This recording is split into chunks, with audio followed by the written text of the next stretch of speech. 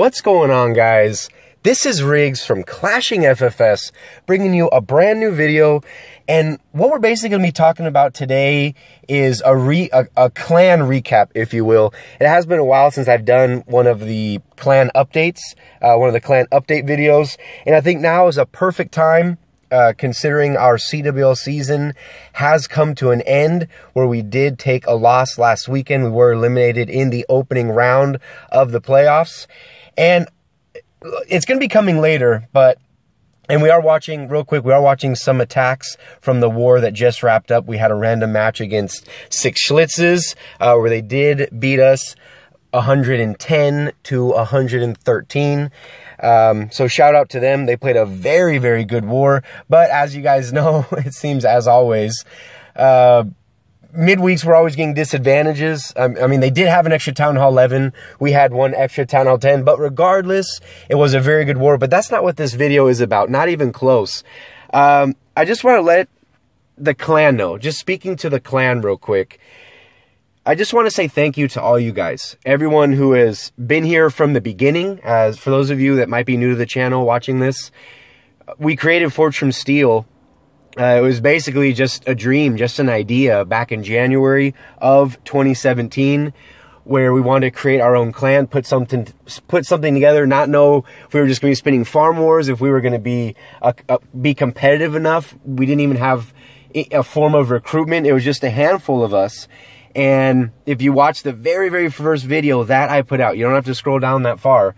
But in that first video, this clan completely blew up. We had all kinds of love and support across the war community.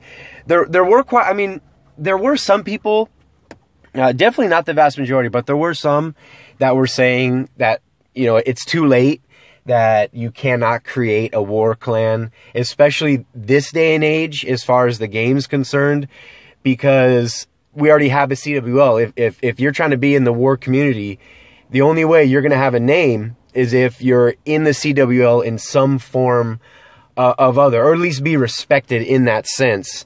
So we knew that the the, the task we had a huge task in front of us uh, with a lot of challenges, and we overcame them.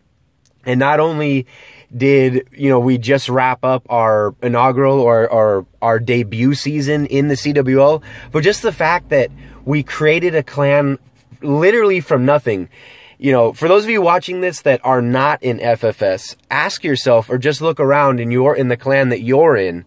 And the question I have for you is, were you in that clan when it first started? You know, were, were, were you there, you know, from war one?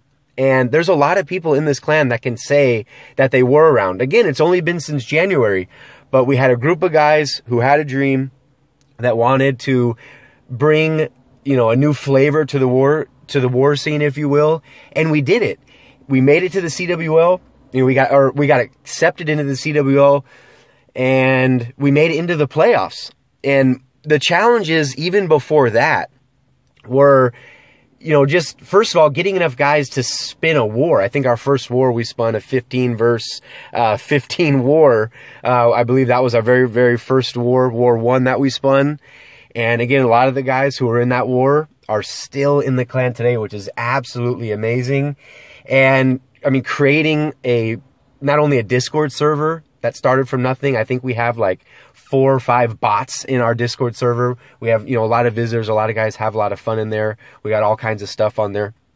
And creating a recruitment uh, server, teaming up with Clantanemo Bay, who just took down one hive. As many said, they were going to be losing that war as well when they did not. Um, creating a YouTube channel that in in my humble opinion has become very very successful I mean, we have over 700 subscribers now. We just did a big giveaway not too long ago. And, you know, we're getting new subs every single day. Uh, successful Twitter with, I believe, over 600 followers. Uh, that's at FF, or that's at FFS Uh, go ahead and, uh, follow us on Twitter for everything going down in the clan updates and things like that. And more importantly, even expanding, we got to the point to where FFS got, where we were so stacked, where we were, we had so many people in the clan, you know, we were 50 out of 50 and we'd have five or six guys who weren't even in the clan, uh, basically rotating people around, things like that, where we were more or less, uh, had to come to a decision where we had to make a, another clan, which is FML. That's an acronym for from, uh, from Molten Lava. Maybe you've heard of them. Uh, they just made it to the final uh, war, the championship war in the U.S. Cup Finals. They did not win, but I believe they had to defeat something like I think six or eight clans to get there. But they made it to the championship round in the U.S. Cup, and they're right now. They are also in the MLCW. Uh, they did survive the opening round in MLCW. They took down Edmonton Cold. So their journey has still continued, uh, continued as far as competitive play. So just all kinds of stuff going on. It, it's just insane. And again, this is a lot different from a lot of the uh, other videos that I make, but you know, it's just a big thank you to everyone who has been a part of this clan who wanted to take on this challenge when Mini said it could not be done. And it did. It happened. You know, we're here. We've more or less even become, as far as the war community is concerned, uh, uh, you know, a household name. As far, you know, a lot of people have heard of FFS. What now? Whether that's a good thing or a bad thing, but you know, we're out there. People know about us, and it's it, again, I can't express enough. It started from nothing, guys. I, I believe we started with about eight guys, six or eight guys, uh, which is going to be coming up next. And you guys already know if you've watched any of my videos, all I do is give out shout outs. And I, I do want to start with our leadership team, which truly is the foundation of the clan. And these leaders have, uh, or a, lot, a few of the leaders that I'm going to be mentioning have been there again from day one. Uh, we'll just start from the top, starting off with Captain Crunch. Um, maybe many, uh, many of you guys have heard of him. Um, Crunch, I cannot thank you enough for what you bring to the team, not only with, you know, your Town Hall 11 base building skills, uh, your hit ups on your Town Hall 10, and just the the level-headed guy in the clan who we can always count on to to make level-headed decisions. Um, you know, when when you know, you know, something pops up, he's always someone we can kind of turn to and ask him, you know, for his help, for his support. And he's always been there. He has never, ever given up on FFS. Uh, through the ups and downs, and there has been a lot of downs through this journey. He has never faulted and he has always been there. And same thing with poor self control, aka PSC, aka Chris. I think, I think I'm the only one who actually calls him Chris, but PSC, I cannot thank you enough, bro. You have become one of my closest friends. Uh, not only, you know, do we talk about Clash, but, you know, inside and outside of uh, Clash of Clans, you know, it, it's someone who I've always been able to talk to pretty much about anything. Uh, and he's really has become a very close friend. I have nothing but love and respect for the guy. And he's always been there and he has also never faulted and is just one of the best clanmates you could ever have in a clan, bar none. Uh, big shout out to Maza, uh, Maza Soccer. Uh, he was with us. We met him. Uh, a lot of the, these names I'll, I'll, be going over were actually with us, or I've actually known for probably three years. Um, you know, two plus years back in One Hive Genesis. Maza, we actually met over in Midwinters. And in case any Midwinters guys are watching, we did not poach him. He came over here on his own. To our surprise, we didn't even know. Uh, we kind of had this thing going. He popped up in our, our Discord, uh, Discord server. Uh, he, he got the invite, popped up. Next thing you know, he applied in game, and we had no idea that he was going to be joining. And just recently, I'd say in the last maybe month, uh, he joined the leadership team. And again, not only with his Town Hall 9 base building skills, uh, but just someone who's always on voice, someone you can always plan with, someone who you can always get good advice. Uh, you know, when you're looking at a base, you're struggling. He has one of the highest hit rates. Of all of our Town Hall Nines in the clan, and just an amazing guy, big heart, great dad. Uh, big shout out to Maza. Cannot thank you enough for what you bring to this team. And same thing with Ray. I haven't known him the longest. He's he's been in LT for a few months now. Came over from JTJ2 and a, a, a, few other guys who also helped kickstart FML. So I cannot thank you enough. I would say he's more or less kind of like the class clown, which is a good thing. Don't don't be laughing, but it's class clown in the sense that no matter what the situation is, he can always make you laugh. You know, he can always tell a joke and put a smile on your face. And it's just, he always has that positive energy. Uh, when you're feeling down, he can always pick you up just like that. And our newest addition in the leadership team being Jacob.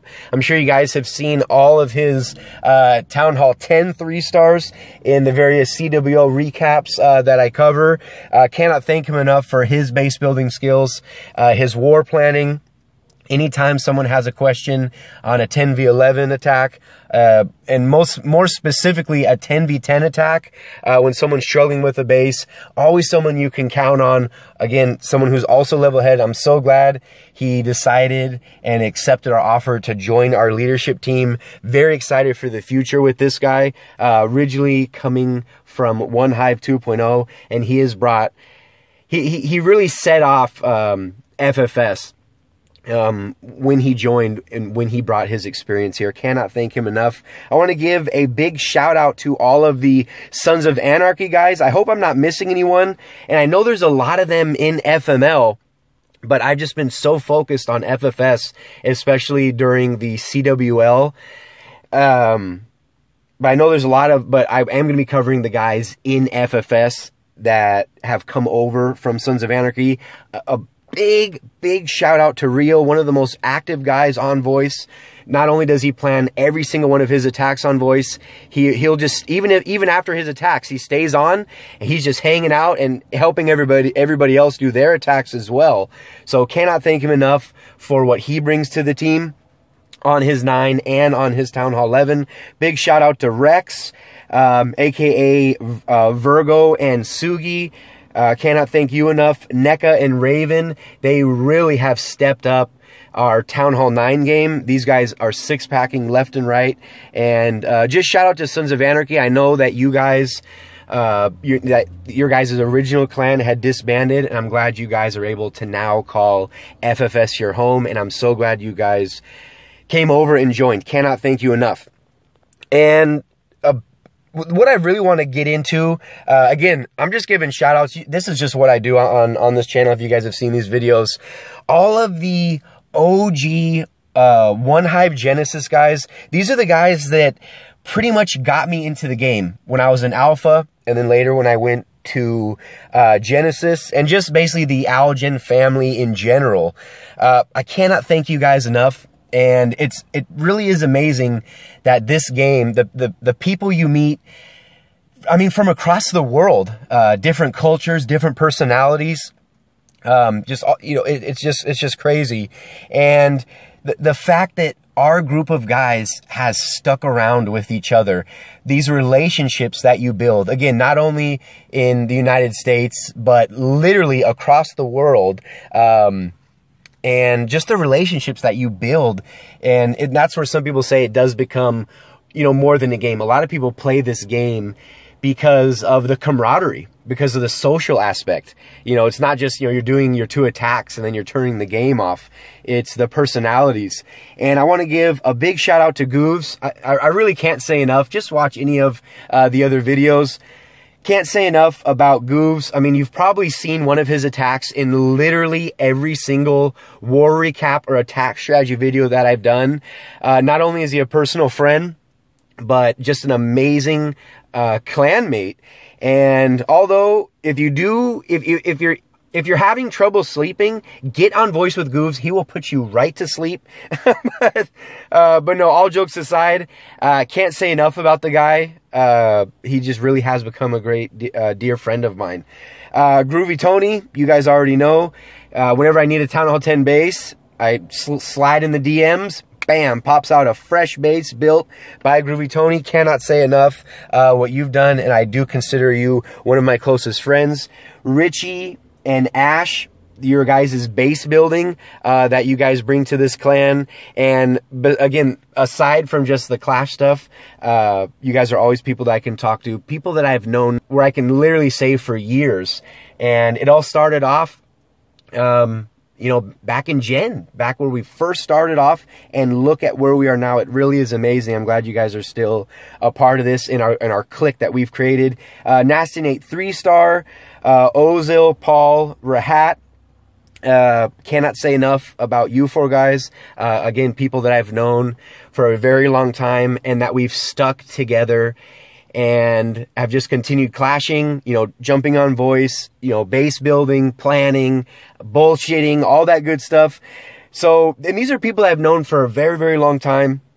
And we have met a lot of new faces along the way as well. Um, you know, these are just the guys that, or I shouldn't say just the guys, but these are the guys that really helped build the foundation of from Steel and kind of gotten where we are today. And without, and we, we couldn't have done it without the help of a lot of new people that we've met on the way. You know, like Blazing Mist, Hulk, uh, big shout out to Scarface, Kong, Rodney.